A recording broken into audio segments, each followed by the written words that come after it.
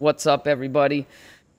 Really excited to be playing this new Ghost Recon Breakpoint, and this is going to be my first video. So, this is the Vector. It's my favorite gun in the game. I run the Pathfinder, I think, or Panther class, sorry.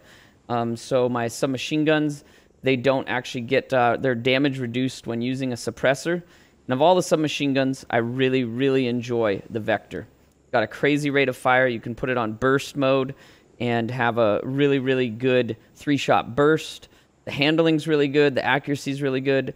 And if you spec in um, a, a skill in your little skill tree, the range is also really good on everything, including this gun.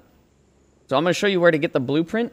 Uh, once you get the blueprint, you can just recraft this gun for really cheap whenever you level up and want to get a newer version or a better version. Um, where it's at on the map is in this top right corner of Darkwood Island. So here's the big map. Top right corner, there's Darkwood Island. It's in the Cape North um, province, a little bit northeast of Sugarloaf Mountain. And it's guarded by a behemoth. Now, the behemoths are the big ass drone tank things that are kind of difficult to kill. We were able to take it out. Um, if you're struggling with it, rocket launchers will disable it. Um, once you disable it and it's like stunned, don't keep shooting rocket launchers at it. Shoot it with guns. LMGs work really good. Marksman rifles, whatever.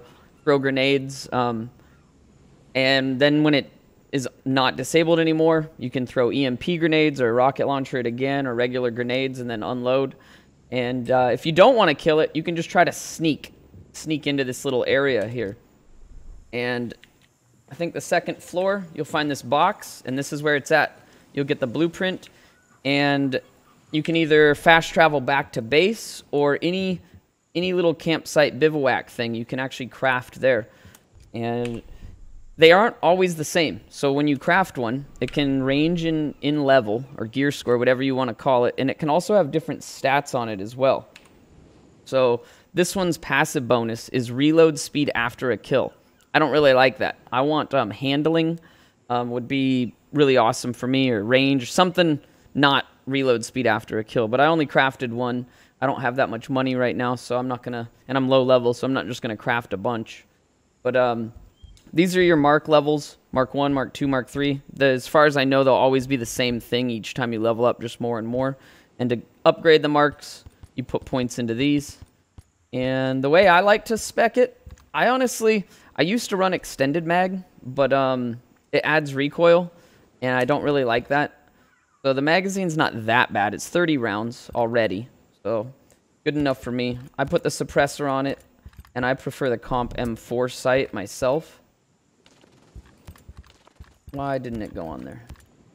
Comp M4, put a laser, and I don't have anything else. I just started playing, but this gun shoots really, really nicely. Like, I love it. The groupings are really on point. Now, if you go full auto, I mean, you're straight R. Kelly pissing with this. It's like all over the place. That's why full auto, I don't think is the greatest with this gun. Um, you can change your fire rate to burst. And as you can see, when you're in burst, the groupings are just all in the same spot. And you can just, you know, tap it a few times and it's it's really nice. One shot to the head and they're gonna die anyways, but um, I love it.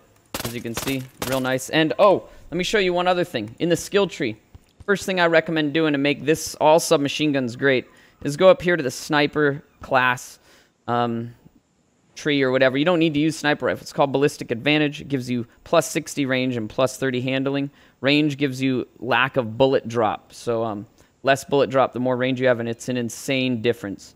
With this on and off, I'll make a video explaining what this does and why it's so great, but there you go.